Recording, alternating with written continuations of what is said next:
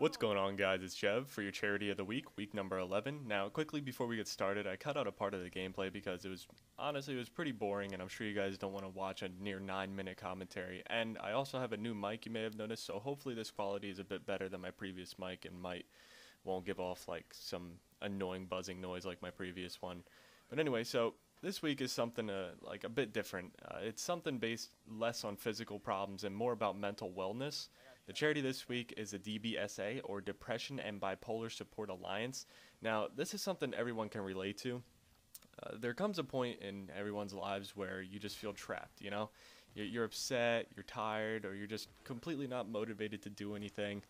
And mo- most people would consider that depression, I guess, just in the general term, which isn't completely wrong, but there is a difference between being in a simple, just bad mood and being depressed.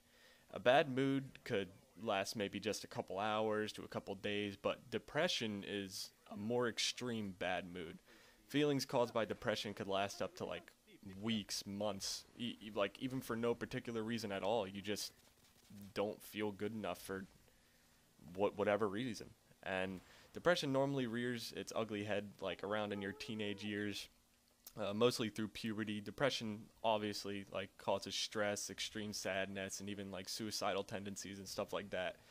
And the great thing about the DBSA is the fact that they aren't just a one-dimensional organization. They are able to find like treatments that are proven to work, like talk therapy, medication, or a combination of both to help the like the individual feel better.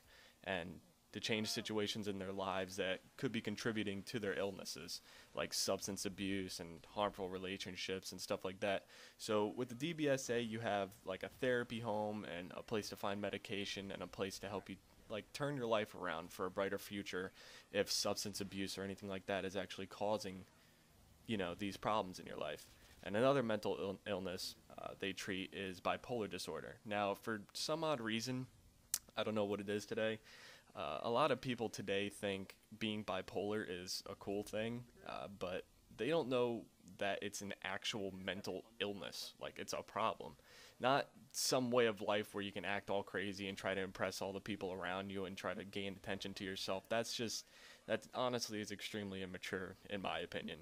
Actual bipolar disorder is actually extremely harmful. Uh, bipolar disorder affects nearly 6 million adult Americans and an equal number of men and women. And that's just in America, guys. That's just in America. It could in the UK, Europe, eh, like just everywhere. Uh, it tends to run in uh, like families and is found like among all races. It doesn't matter if you're white, black, Mexican, anything like that, ethnic groups and social classes, stuff like that. It does not matter like depression and like other serious illnesses, it can also adversely affect spouses and like dating and stuff like that, like significant others, family members, friends, and coworkers and stuff like that. It's something more than just a simple mood swing. A lot like depression isn't just a simple bad mood. It's something that people simply cannot control. So, being an audience, most likely, uh, you know, in these affected in these years, I'm sure many of us can understand the severity of the actual illnesses. So if you or even a loved one are uh, struggling with depression or bipolar disorder, there are people out there to help, just like DBSA. You don't have to donate, but I do encourage it. But if you want to do your part without involving money, just simply leave a like on this video uh, to give this charity a bit more recognition. And this gameplay is now basically over. So until the next time, guys, it's been Jev. Later.